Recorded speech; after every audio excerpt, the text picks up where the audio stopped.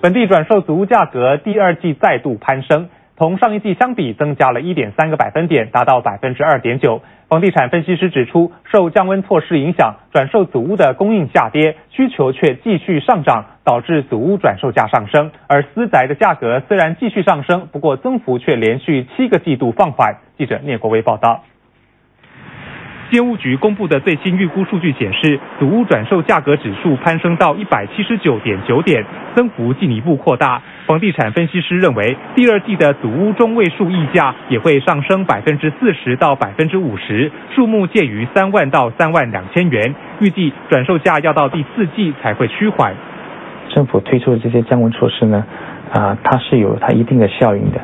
啊，不过呢，美中不足的就是说这些措施呢。也间接呢，啊，影响到很多在转售市场上面的买家呢，打消了这个卖房子的念头。Because private property prices are very high now, a lot of these people have so-called given up, trying to upgrade into a private housing. So instead of selling to upgrade into private housing, they have actually just say like don't sell 啊。为了增加第三季的祖屋供应，建屋局将在八月推出剩余祖屋销售计划。在计划下，一些祖屋的地点将在成熟祖屋区。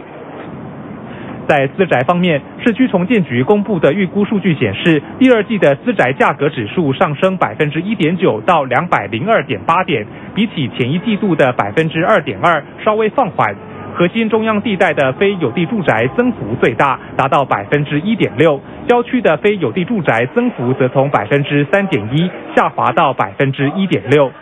上个季度呢？你的确发觉到很多开发商呢，把很多这些所谓的啊郊区的这些啊九十九年的大众楼盘都推出来，